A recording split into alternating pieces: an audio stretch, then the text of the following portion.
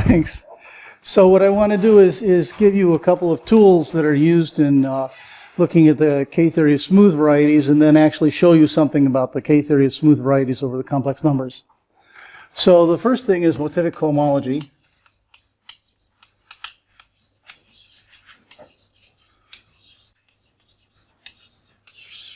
And um, there are sheaves, Zi, on smooth schemes over your favorite field, K. so that um, the hypercohomology so the h n of x with coefficients in z parentheses i is motivic cohomology.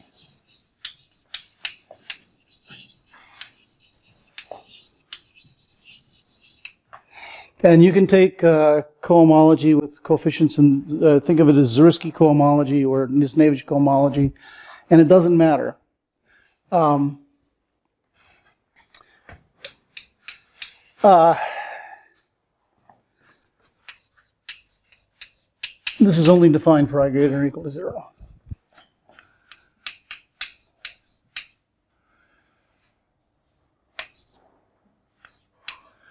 So there's only a couple of, of these known. And um, so let's see here.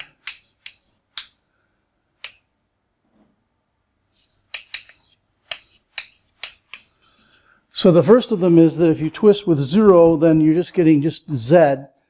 Um, so the reason is because the z of zero is the same thing as just the, the, the sheaf which is z in degree zero, so you're just getting integral cohomology.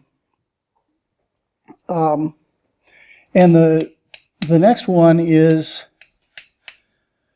uh, sheaf 1.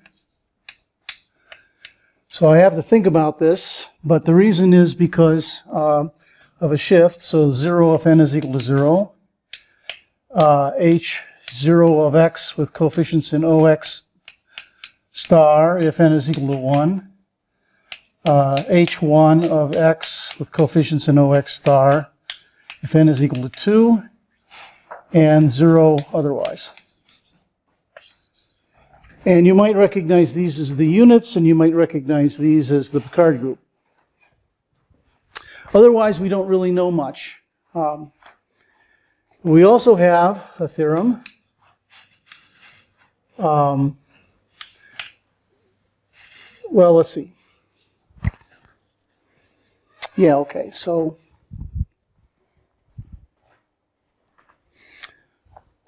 so there are um, Adams operations.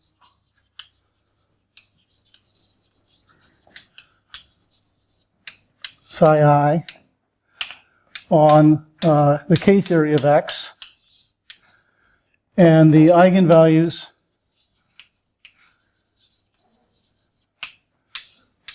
for psi of the k, let's make this psi of the k, is equal to k to the i, give a decomposition of the k-theory. Well, the problem is that you can't talk about eigenvalues of an abelian group, but you can talk about the eigenvalues of a vector space over the rational numbers. And so we would say that this is the direct sum of the kn parentheses i of x. So if I put the parentheses i of x, then implicitly we're tensoring with q. and k i n of x is isomorphic to h 2i minus n of x coefficients in zi. Whoops tensor Q. And then that's the same thing as H2i minus n of x with coefficients in Qi. So at this point, you see that I, am sort of introducing a little bit of extra notation. Uh, that if you take this sheaf of abelian groups and you tensor it with Q, you get a sheaf of, of rational vector spaces, and that's Qi. And, and while I'm at it, uh, if you take z of i and you tensor it with z mod m, then you get this, and then I can talk about motivic cohomology with coefficients in these sheaves. So this this is uh, this is a very useful result. Uh,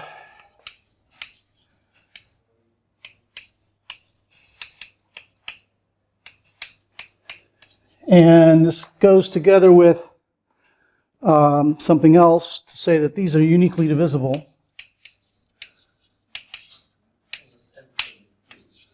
I'm sorry?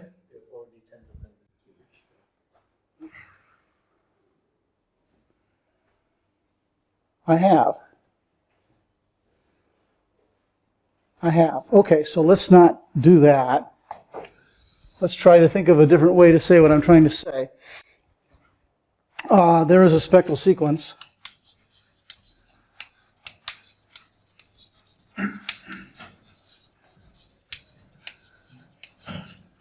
And the spectral sequence starts off with E2 PQ equals to uh, motivic cohomology.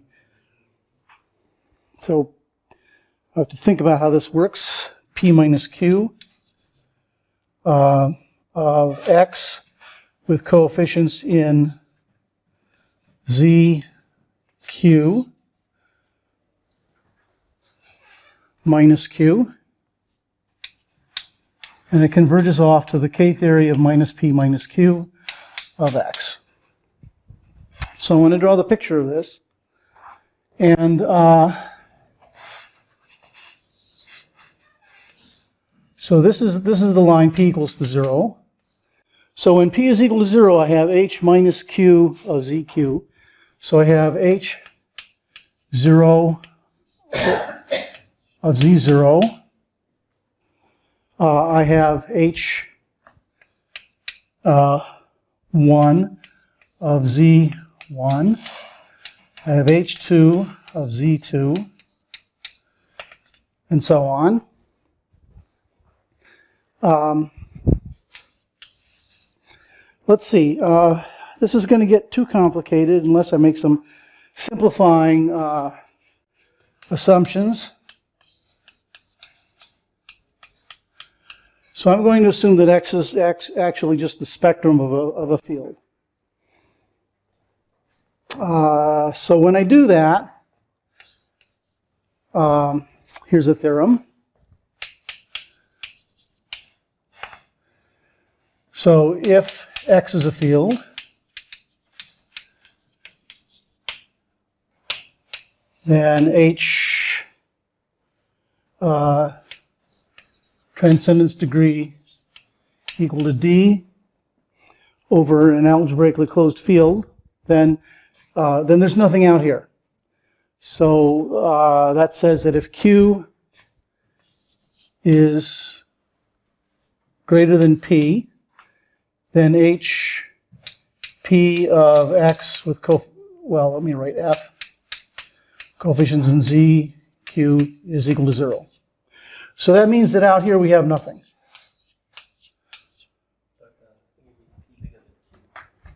Do I need it the other way around? Well, let me let me write down h0 parentheses 1, h0 parentheses 2, h1 parentheses 2. So this is this would be like h3 parentheses 2, so it's the other way around, as Christian said. Yeah, the transcendence degree hasn't played a role yet. But when we get down here, we get the HD of F with coefficients in Z, D. And after that, there's nothing. That's where the transcendence degree plays a role. And then what we have is sort of a, of a diagram that goes down like this. So here is H03, H13, H2, 3, and uh, H 3, 3. And uh, over here we have HP of F with coefficients in ZQ, where um, this index, P minus Q, is strictly negative. So that is the same thing as saying P is less than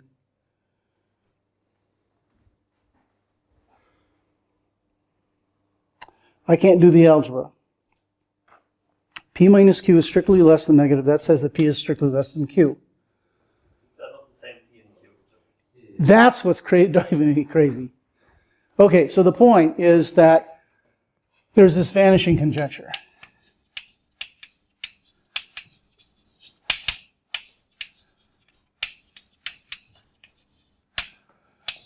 And the motivic version of this says um, these groups on the diagonal and all of these groups.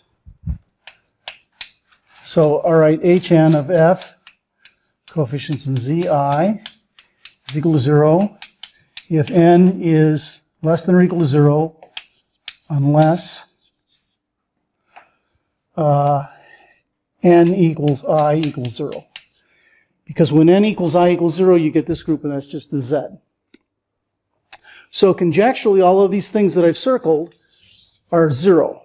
And so then the spectral sequence just goes down like this. Second thing that happens, so let me just interpret this. Because I have a field, this is just z.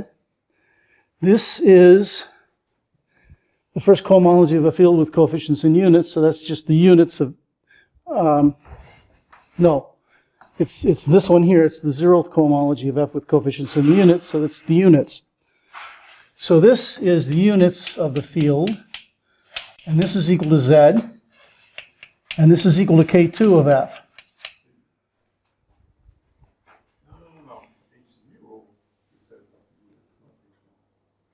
There's a shift. You see there's a shift? n equals 1, h0. That's why I had to stop and think about it when I was writing it down. Okay, so in fact, what we actually have is a theorem that says that hn of f with coefficients in z, parentheses n, is isomorphic to Milnor K-theory n of f. So that's why I, am writing, let me just get rid of this zero for a second. That's why I'm writing that this is K2 of f. And so we actually know that this one is equal to zero because there's no place for the differentials to go. Uh, well, anyway, the point is that this is okay. But we don't know about any of these. Here, we would have K3, Milnor of the field, and K3 Milnor of the field is not the same thing as uh, K3 of the, the field. And here we have K4 of the Milnor, uh, the, the, next one would be K4 Milnor of the field. Now here's a here's a fun thing, and the fun thing is that if I'm looking at uh, the integers, I mean not, I need a field, so the rational numbers, um, then we know that um, inside of K4 we have an element which is mi minus 1 times minus 1 times minus 1 times minus 1. But we also know that minus 1, minus 1, minus 1, minus 1 in K4 of the rational numbers comes from eta to the fourth in pi 4 stable of, well, pi 4 stable of the sphere spectrum. And here it's equal to 0 for topological reasons. And so that means that this is equal to 0 but it's non-zero in the K4 Milnor. And so that means that there exists a non-trivial differential.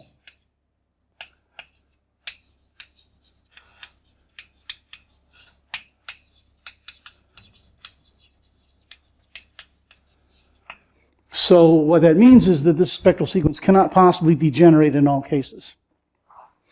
But I'm going to show you a case where it does degenerate in half an hour, if I get lucky. Okay, so the next thing is that this vanishing conjectural vanishing for all of this together with this. So if I put if I put 2i minus n in a range where I'm out here, conjecturally this is 0, this says that k n parentheses i of f is equal, so there's a upside down question mark here. Uh, if uh, i is less than or equal to n over 2, unless, of course, i equals n equals to 0. So there's a conjecture in K-theory and there's a conjecture in motivic cohomology and they're equivalent. Now, uh, this particular vanishing conjecture, uh, Beilinson made this conjecture uh, without saying anything about n equals to 0. And Soulé made this conjecture without, um, with, with, as I've written it. And the point is that the original conjectures weren't exactly the same, but um, I, have had a conversation with Beilinson and with Soulé, and they agree that the n less than or equal to zero is the way that the conjecture should read. So conjecturally, all of this stuff is equal to zero, and you just have something going on down in this range. And that gives you a lot of ability to say something about the K-theory of fields, especially when you're looking at K3 and K4, where there aren't a lot of room for differentials. Okay.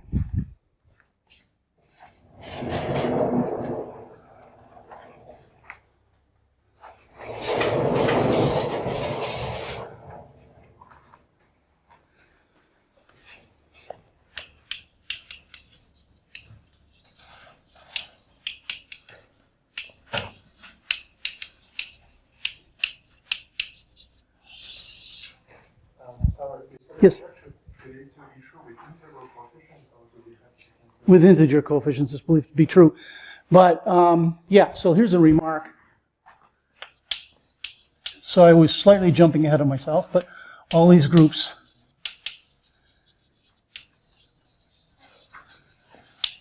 uh, these groups that are conjecture be zero.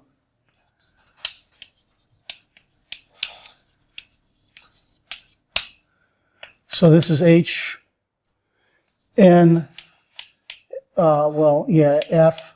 Doesn't, doesn't really matter. Let me keep, keep it with F. Z parentheses I uh, are uniquely divisible. At this point, I'm going to start writing U period D period for uniquely divisible because uniquely divisible is really long. And that is the same thing as it's saying it's a Q vector space. So since we know that these groups are uniquely divisible, uh, we can tensor them with Q and it doesn't do anything, right? So that's, uh, that's a good remark. So there's this um, group, and let me go back to X. If I take uh,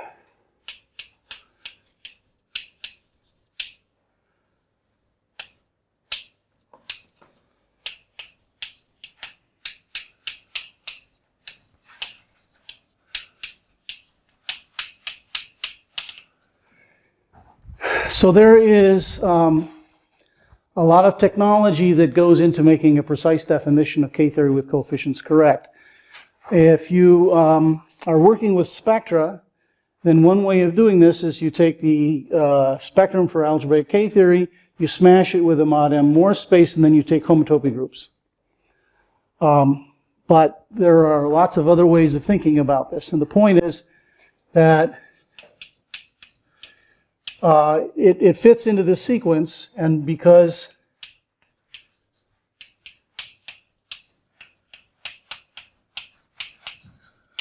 because the co-kernel of this is this group mod M, and the kernel of this is the M torsion subgroup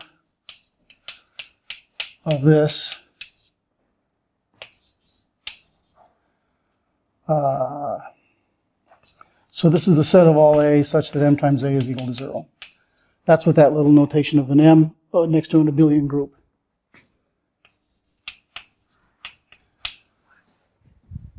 So you have this short exact sequence. And so with this short exact sequence, if you know something with coefficients mod m, then hopefully you can construct things about the m torsion here, or you can construct something here. Okay. There is also a spectral sequence with mod m coefficients. So it looks almost exactly the same as the one up there.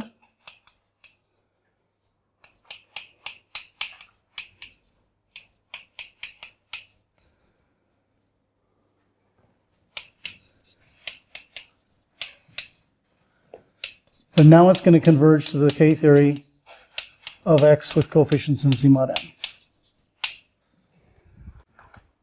Now, um, here's a technical point, and the technical point is that if you're in characteristic P and P divides M, then crazy things happen. And we don't really understand that situation very well. And I could go on and on and on about de Rham-Witt complexes, but the point is that we're going to avoid uh, that. So I want to assume that the characteristic of F does not divide M. so this spectral sequence, again, we have something like this.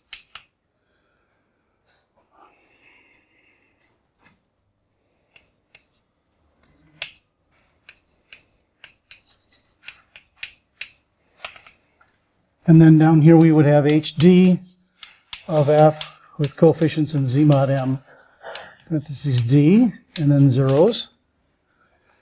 And here is H0, 1, and so on. And now here is the nice thing. There's a big theorem. Um, we can call it the norm residue theorem.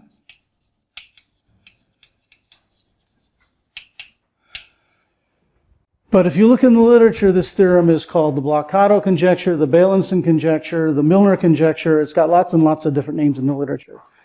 And roughly speaking, it was proved by Voevodsky with a lot of input from Markus Rost.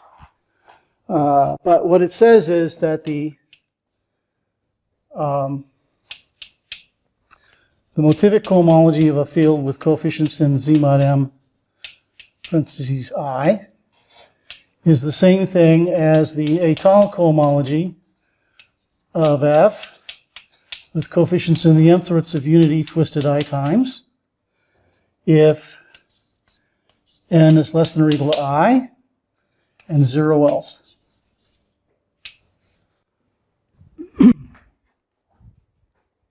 so what that says is that we really have zeros out there. And what it does is it takes the, the, um, the H1 groups there and gives you a contribution to the H0 groups down here. So here's H02, etc. Uh, so here's H0 going on down, and here's HD, D plus 1. Here's H0, D plus 1. And it just keeps going down in this direction.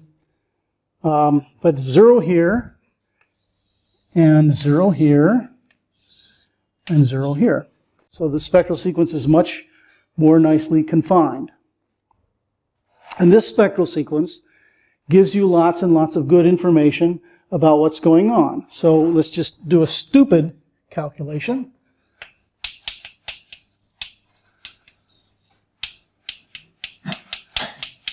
Suppose f is algebraically closed, and again I'm going to just make this assumption without writing it down. Then the higher cohomology of f is going to vanish. And so what you get is that the k-theory of f with coefficients in z mod m is equal to 0 if n is odd, and it's equal to z mod m if n is even, and of course greater than or equal to 0. now, one of the things that happens in this particular case is that there's a Bott element in K2 with coefficients in Z mod M corresponding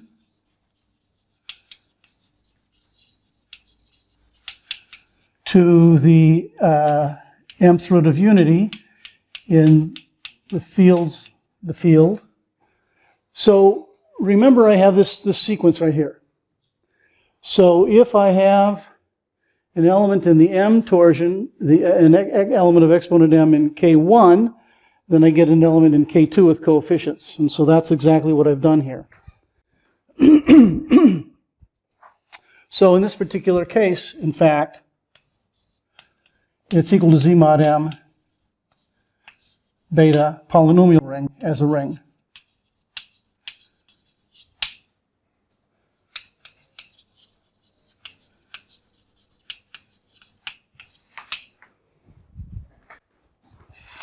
So if you have an algebraically closed field, this is what happens.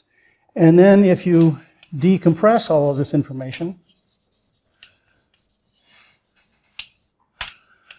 then what you get is the Kn of f. So this is again f equals f bar.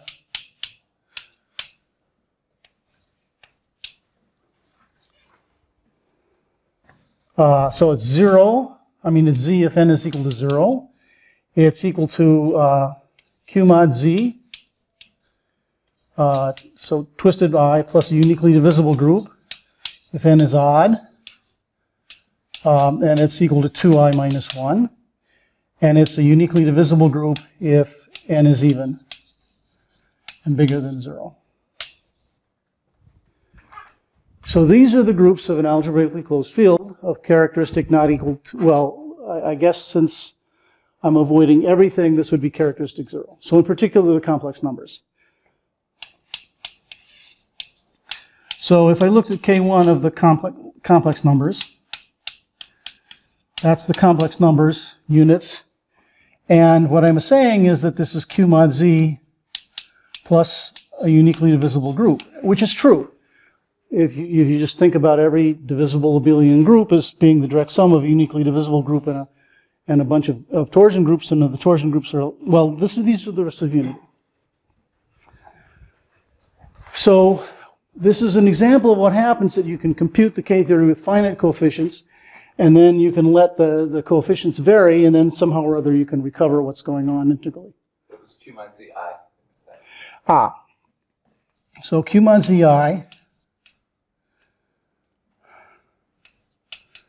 means Q mod Z is an abelian group. But if you have some subfield, uh, Unfortunately, I learned that subfields should be F and the total fields should be E. Then the Galois group, then G can act as uh, twisted by I. So that's just a sort of a formal bookkeeping device that I want to remember that, for example, if I'm trying to compute the K-theory of the real numbers, so the Galois group is a cyclic group of order 2, that the action of the Galois group relates the K-theory of the real numbers to the K-theory of the complex numbers, and there's, there is an, a Galois group action, and the, if I is even, then the Galois group action is trivial, and if I is odd, then the Galois group action is non-trivial. So what that means is that sometimes you get a minus one, uh, uh, I'm sorry, the, the fixed points of Q mod Z under the action where, where the Galois group is acting by multiplication by minus 1, the fixed group is just Z mod 2. So when you're looking at the K-theory of the reals, you just get Z mod 2s in a lot of places, whereas you would get Q mod Zs if you were looking at, uh, at, at, at, the other case, the, the odd case, uh, uh, the even case. So, um, so for example, if I'm looking at K1 of the reals, there's a there's this Galois group twist, and so what I hear it saying is that the torsion group should be Z mod 2. And in fact, the torsion group of the real number, the units of the real numbers, does have a Z mod 2 in it. So it's, it's, it's mostly a bookkeeping device meant for comparing with fields which are not algebraically closed.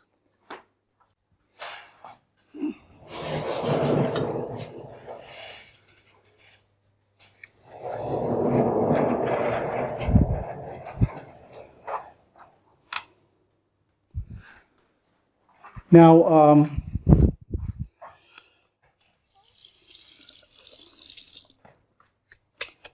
I wrote this spectral sequence out for fields, but it's also uh, perfectly good for algebraic varieties. The difference with algebraic varieties is that this um, norm residue theorem doesn't exactly work. So the version of the norm residue theorem that you have to use for a variety is a lot more technically complicated to state. So I'll just say it and I won't elaborate on it.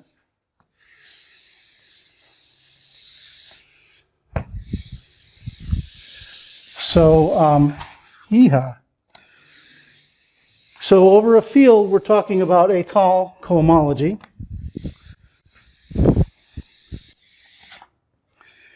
And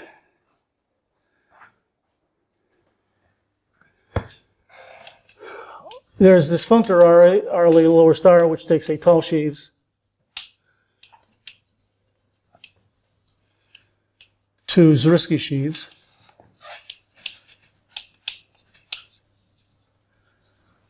So if I take mu m twisted i, that's an ideal sheaf. That's that's a sheaf of uh, of uh, Étale sheaf. Uh, ah, it's an Étale sheaf.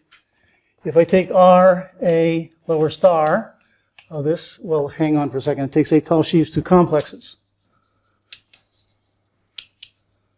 of Zariski sheaves. So this is a complex of Zariski sheaves. And then what you have to do is you have to take tau less than or equal to i. And then the assertion is that this is uh, this is z mod m parentheses i. So that means that the cohomology of a variety x with coefficients in z mod m parentheses i is the hypercohomology uh, Zariski on x. So here's an n that's the same. And that um, then you have to slug in all of this stuff.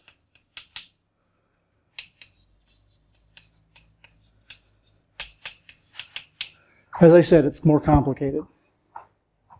I don't, don't want to really talk about this, but um, what I do want to talk about is uh, X curve. Where does the name come from? I don't see a norm or a residue in there. So, um, so it goes back to uh, K1 and K2 and, uh, and, and residue symbols. And uh, it's, it's a sort of a long story and it's distracting, but it, it has to do with K1 and K2. And the way that people thought of reciprocity back in the 1930s. God, it's not 100 years ago, but it's close. Anyway, so if, if x is a curve, then what this says is that, um, ah, one of the things that you get out of this is that hn of x z mod m i is equal to 0 if n is less than 0. So you still keep this, this vanishing in negative degrees with finite coefficients, and what that says is that the k-theory um, well, it says that the appropriate part of the K-theory is, is, is uniquely divisible that uh, I was talking about before. So anyway, the point is that uh, here if we take H1, uh, well, let me write the, the thing down here. So here's H0 of X. So that is going to be Z mod M. Here's H1 of X with coefficients in Z1. So this is uh, H0. And here's H1 of X with coefficients in Z mod M1. And here's a 0. And here's a 0. And here's a 0. So this is the Picard group of X. Uh, let's see. So the M torsion in the Picard group. If I'm assuming I'm over an algebraically closed field. And so then the rest of this spectral sequence is just like before, and here we have zeros. So here I have a zero. Uh, wait a second, I, I, I just messed up because what happens is when you pass from integer coefficients to finite coefficients, all of the groups shift one to the left. And so what I'd written here gets shifted over to there. So here's H1 with coefficients in, in, in of x with coefficients in mu, m. Here's H2 of x with coefficients in mu, m. Uh,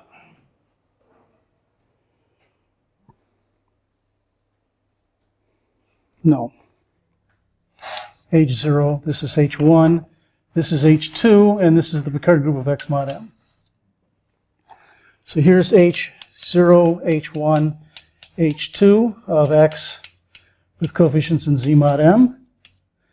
And then a marvelous thing happens, and that is that you have cohomological dimension 2 for a curve, and so you have nothing here. So here you have H2 of x with coefficients in z mod m, and here you have H1, and here you have H0, and so on. Now, another marvelous thing happens, and that is because you have an algebraically closed field, all of the roots of unity are in your field, and so the Galois group can't possibly do anything.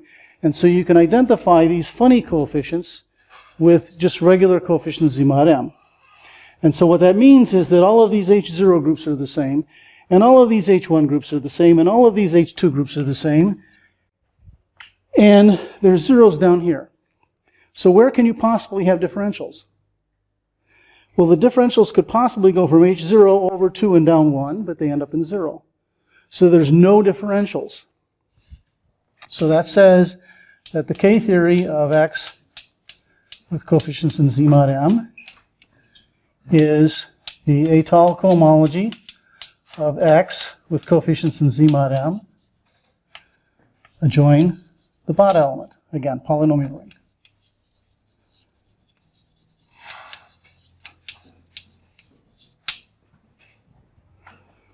And if you de- decompress this, if you pass, if you let m vary, and you sort of think about the comparison that I have on the top board with finite coefficients and integer coefficients, then what this tells you is that the k-theory of x with no funny coefficients, just regular coefficients, is going to be what? Well, it's going to be z plus the Picard group of x if n is equal to 0.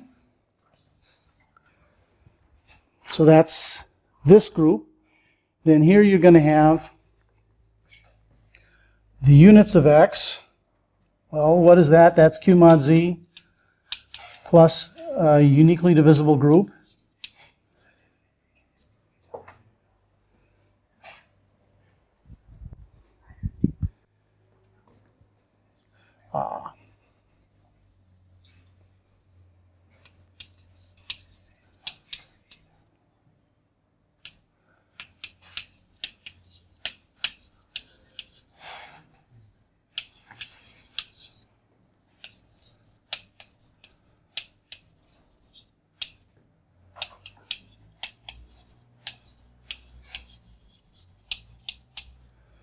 That you actually get this. And again, I want to emphasize that the Picard group of x is z plus r mod z to the 2g. So that is the same thing as z uh, plus q mod z to the 2g plus r mod q uh, to the 2g. And this is an example of a uniquely divisible vector space. You just think about forming a basis of the real numbers over the rational numbers, and then uh, that makes the real numbers a vector space over the rational numbers, and, and you just have a lot of fun with set theory there. Um, so the point is that the pattern is still the same here as it is here. But you get this, this understanding of the K-theory of X, except that you don't understand the uniquely divisible group part of it. And that is sort of representative of the status of calculations that we have, and that is that we understand um, the torsion part and the cotorsion part fairly well, but we don't understand the uniquely divisible parts of algebraic K-theory very well. There are things called regulators, and um, I'm looking at the clock and thinking, no, I'm not going to talk about regulators. Um, there are things called regulators which map the K-theory to uh, complex numbers. And if you take the, uh, the, if you if your field is is like a number field, then the um, then the image of that regulator map is going to be a z. And so then if you take a a different regulator for every real embedding, then you get R1 real embeddings, then you get a z to the R1, and then you can pick up what's going on with the number field using regulators. But we don't know exactly what the image of the regulators are. There are these fancy issues about pi coming in, and um, and I promised not to say anything about that, so I haven't said anything about that. Did I? You didn't hear that. Okay. Uh, well, I might as well just push this up and erase.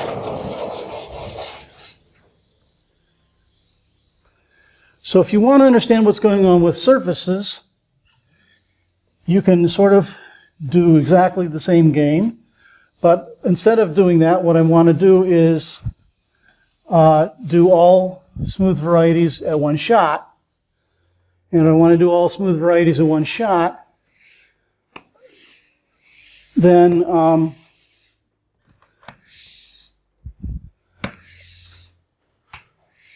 then I have to uh, introduce Chern classes. And since no good discussion of K-theory uh, can happen without discussing Chern classes, that's, that's, uh, that's just fine. Okay, so Chern classes.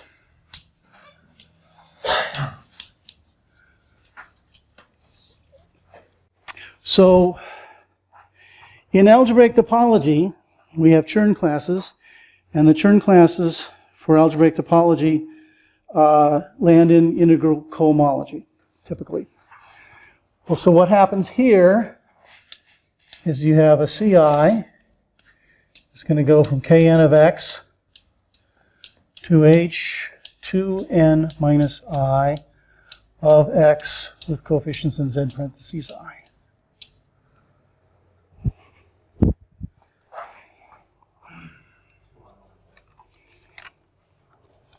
Two i minus n.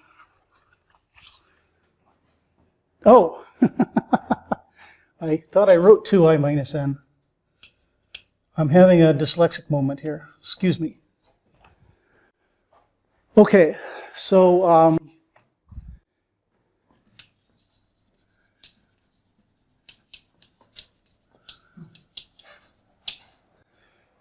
uh, so h2i minus, well, let me write a star there so that I don't make the same mistake that I just made before.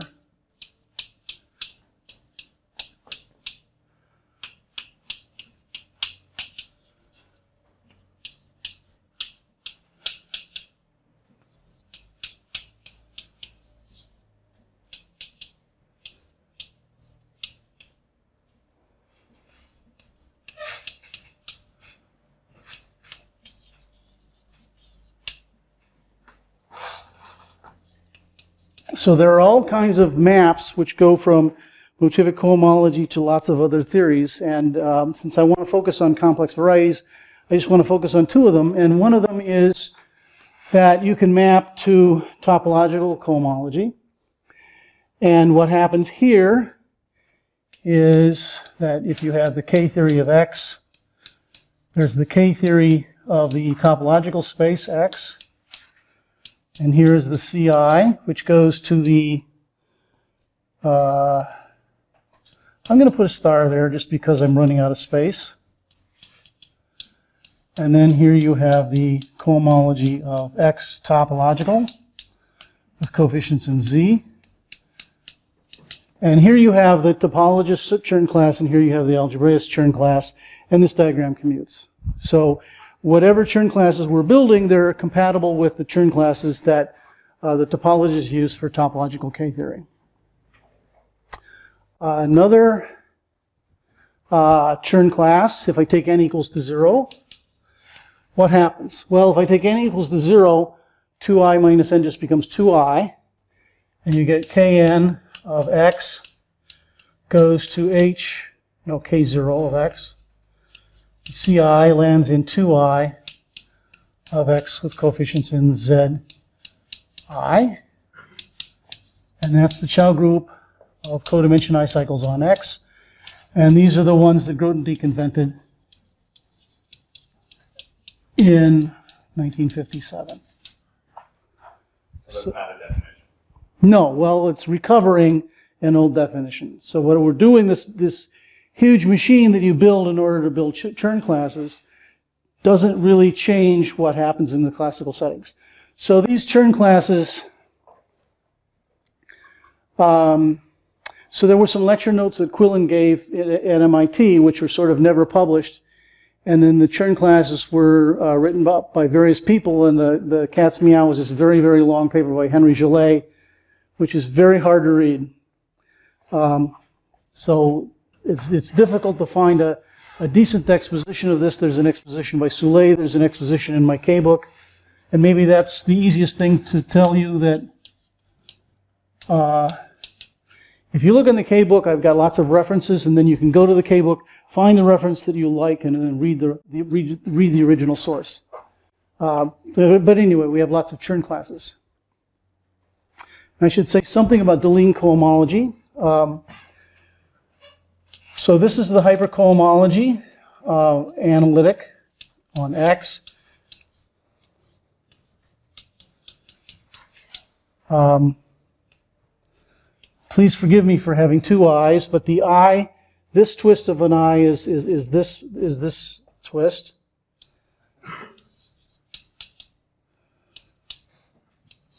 And so um, this is the, uh, the, the, the de Rham complex. And so you have the integers mapping in, and then you take the hypercohomology of that. And the advantage of this is that um, there are lots and lots of connections of this cohomology. For example, um, if I take the Deligne cohomology, and I multiply by some number, which maybe I'm using m.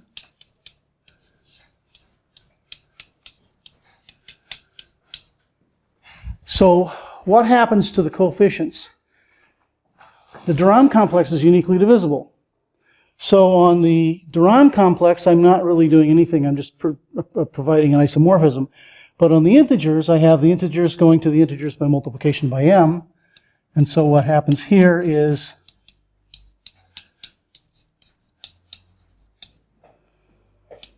is that you get that. And then there's a long exact sequence. So there's, there's a connection with étale cohomology, and in fact, um, there are also Chern classes with coefficients.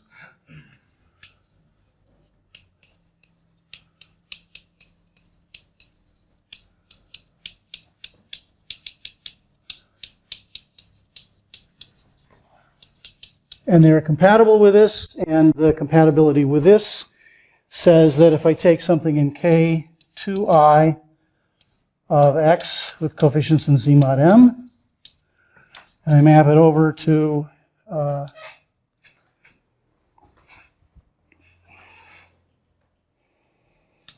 K2i minus 1 of x with integer coefficients, and I apply my CI to get to this cohomology group.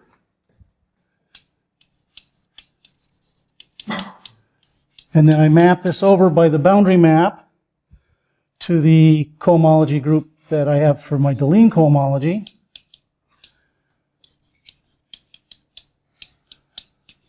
That that diagram commutes. So you can work with finite coefficients or you can work with integer coefficients. And so, for example, if I take the Bott element to the i, that's an element in here. I have a product rule, which tells me that this goes down to minus 1 to the i minus 1 times i minus 1 factorial times, uh, well, let's see. So which one have I done? I've done 2i minus 2i, so that's h0. Uh, so h0 is, um, this is, this is in, in z mod m. So that means that if I take the Bott element and I map it over to here, I have something in the odd cohomology, then I can map it down so I can understand things. And um, what I'm going to say next is going to use this sort of implicitly. Okay. So that's the part that I wanted to say about Chern classes, that they exist. There's lots of compatibilities that uh,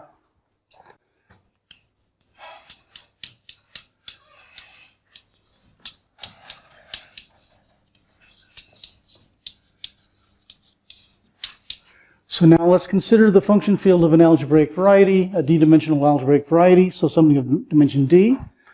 Then um, we have the Milnor K-theory of f mod m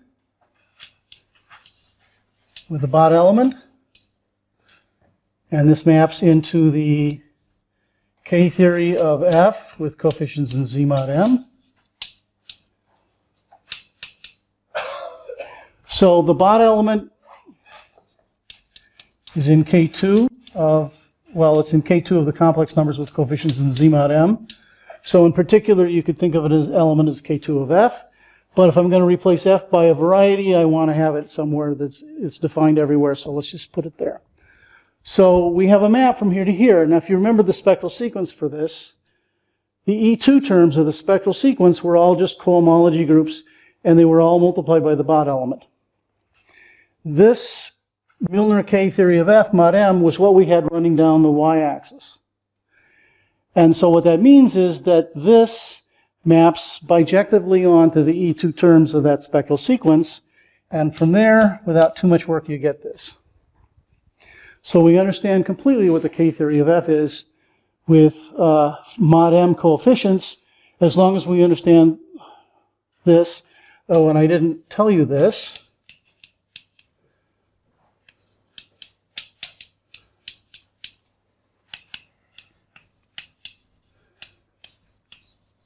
But remember that the, the K-theory of F with coefficients in Z mod M is isomorphic to the Milnor K-theory of F with coefficients in Z mod M.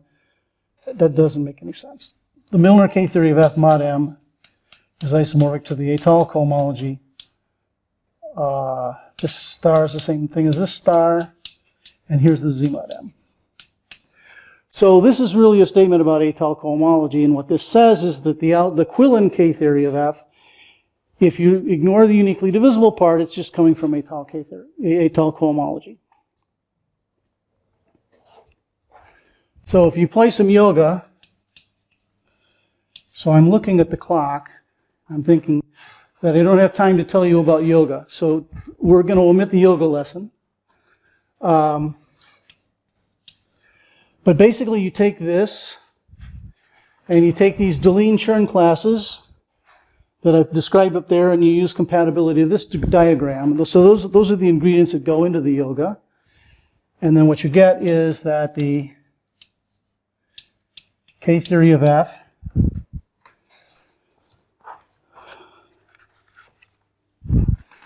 are uniquely divisible, are, I mean, are divisible groups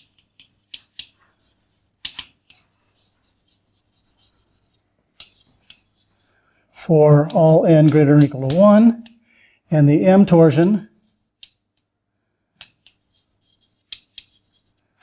So the M part of the K theory of F has to be isomorphic to the M plus first K theory of F with coefficients in Z mod M.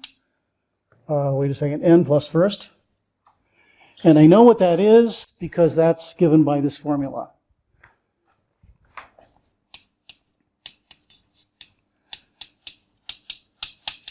At this point, I'm just going to put a star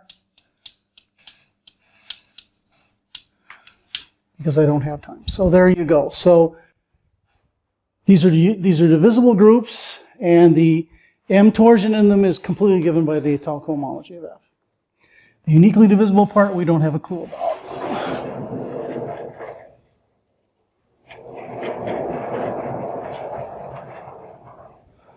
Okay, so this isn't so bad.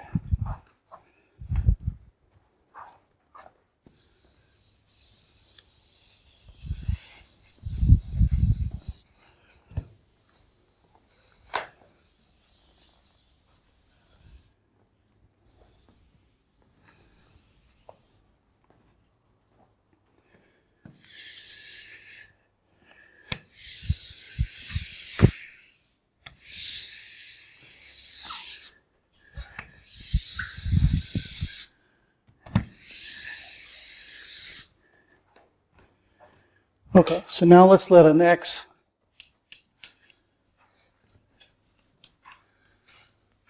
be a smooth, uh, let's say projected just for the sake of simplicity, algebraic loop variety over the complex numbers. And the topological space x of c has finitely generated ku groups. So if I put an n there, uh, there's some torsion group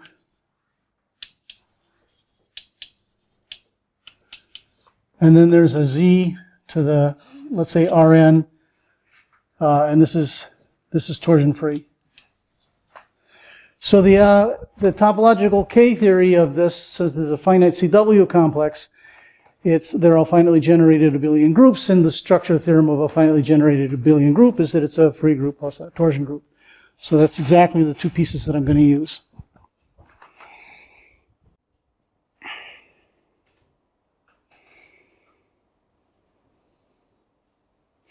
Well, all right, so I'll just tell you the theorem.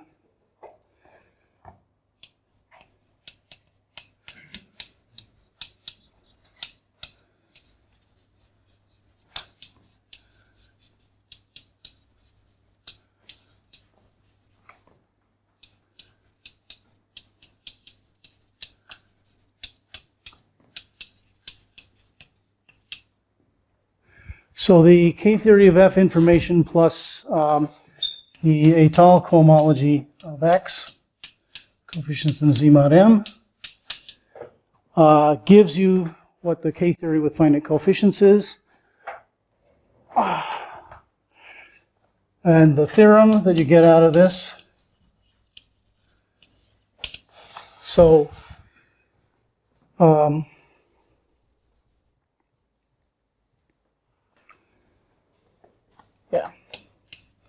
Kn of x is equal to, so let me just make sure that I get my coefficients right.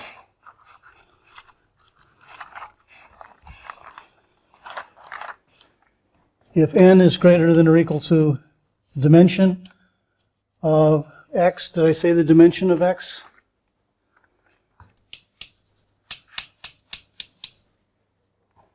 Okay, so then we get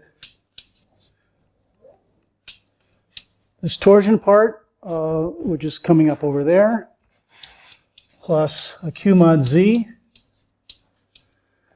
and that is corresponding to the topological k group, which is the next one up, plus a uniquely divisible group. And the idea is that if we have this k relative group, so here is the k theory of x, and here is the topological K theory of X.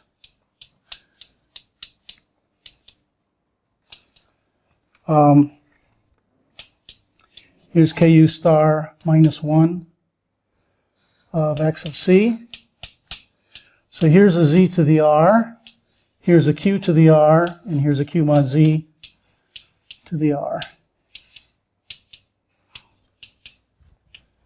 So this shows you how the, um, and then the, the T, um, n goes over to the Tn. So this shows you how the algebraic K-theory and the topological K-theory play together, that the finite torsion, the Tn, corresponds identically to both of them. Uh, but if you have this uniquely divisible business, that in the relative group you have a q to the r, here you have a q mod z, and here you have a z to the r. And so one of the things that happened in the 90s is people took p-adic completions. When you take p-adic completion, the p-adic completion of this gives you a zp to the r.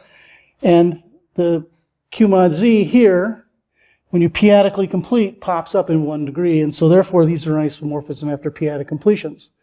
And so a lot of theorems from the 1990s say basically that these groups are the same after p-adic completion, but now we understand. Oh, so uh, after p-adic completion,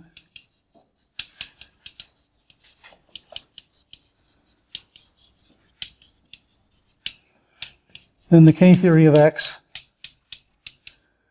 is isomorphic to the topological K-theory of X, p-adically completed. So just as a technical point, what I mean is you take the topological space, you p-adically complete the topological space, and then you take homotopy groups. Okay, so I've run out of time, so that's a good place to stop.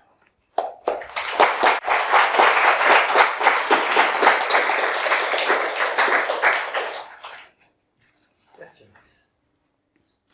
Here this sequence, does this entire cohomology Yeah, this one? depend on I? I see no dependence on I and quotient. I'm, I'm sorry, where are you looking? I'm looking where there is an I. There's a linear Here there's an I, here, here there's an I. above this is the line multiplication by M. Yes. I in étale cohomology group? All right, so there's UM tensor I. But the point is that since I was over the complex numbers, the nth roots of unity are just a cyclic group of order M, and the Galois group is acting trivially, so the twisting by I doesn't matter. So I was using a sort of a notational short, shortcut. So that mu M tensor I is isomorphic to Z mod M over, let's say, the complex numbers. Yeah. Sorry, when you when you get going on this, what you what you look for is notational shortcuts, because your hand really gets cramped from writing all that stuff out. That's why I'm writing U period D period instead of uniquely divisible. Yeah. This is for star bigger than or equal to this dimension x minus two.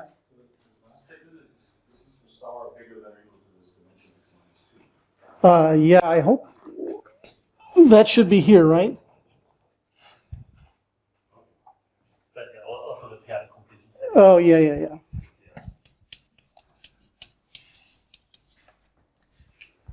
Thanks. That was sort of a, in my mind, a continuation, but I forgot to write, rewrite the hypothesis. Thanks. Yes. So in general, is the étale cohomology of X much easier to handle comparing with the K theory? Sure it is. Uh, so here's a here's a theorem, uh, which is I'm not well. It's SGA4. So x over the complex numbers is a variety. That the Étale cohomology of x coefficients in Z mod m is isomorphic to the topological cohomology of the topological space coefficients in Z mod m. So if you have a variety like projective space, then you know a lot about its topology because if every every first year algebraic topology class tells you what the cohomology of projective space is. So that's one example of a space where you know completely what the right hand side is. And so now you know the left hand side as well.